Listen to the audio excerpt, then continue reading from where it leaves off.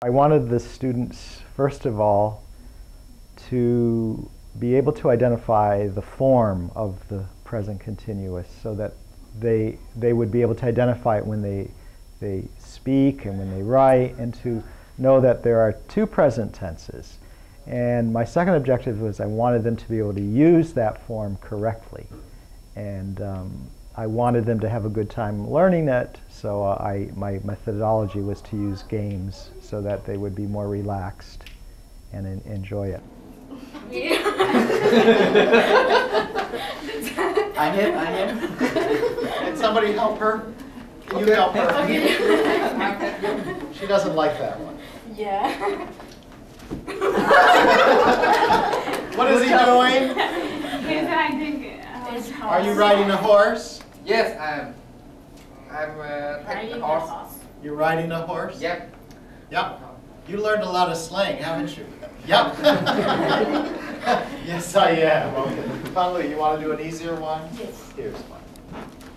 Is that a lot easier? Yeah. Okay. She likes that one. What is she doing? She, she, she is opening, She is opening, opening opening the door, the The door, the door. door. Are you opening the door, Penlu? Yes, I am. Are you warm? Thank you, Penlu. Thank you. Oh, you're welcome. Okay. How about this one? For you. we know who likes to perform. What's he doing? He's dancing. He, he is dancing. Are you dancing? Yeah, I am uh, dancing. You are dancing very well. Thank you. Good job. Okay. What I learned is that they all come with different backgrounds and they've learned in different contexts. And that in order for them to learn as adults, they had to become less formal and they had to relax. And um, we say in ESL, I, I'm a fan of Krashen's who, who um, believes that language should be natural and it should be in a relaxed atmosphere. Atmosphere. He calls it lowering the affective filter, and that's what I try to do in the classroom. Get people very relaxed so they're willing to take risks and use the language.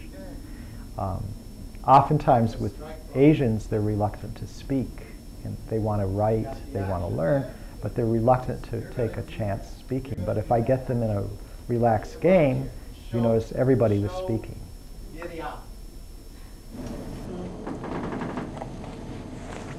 What is she doing, Miriam? Throwing whistle. Are you throwing a ball? No. No. She's playing, she's playing tennis. Are you playing tennis? Yes, I'm playing tennis. Ah, wonderful. Okay, so that means One. you get you start here, and you go into home plate. Yeah. But in here are some home runs too. You might get a home run and make it all away. So one strike, no runs. The runs go down here. Not yet. Okay. Now it's spring and there'll be a lot of baseball games on TV, and the students have told me informally, we don't understand American games. And um, since many of them are interested in, in learning more about American culture, I thought what, it's a good idea for them to learn through grammar, a grammar lesson, how to, uh, the basics of the game, and now maybe they'll go home and watch it. And uh, ag- again, the, the other benefit of that is listening comprehension. If they're watching a little more TV, they're going to improve their listening comprehension.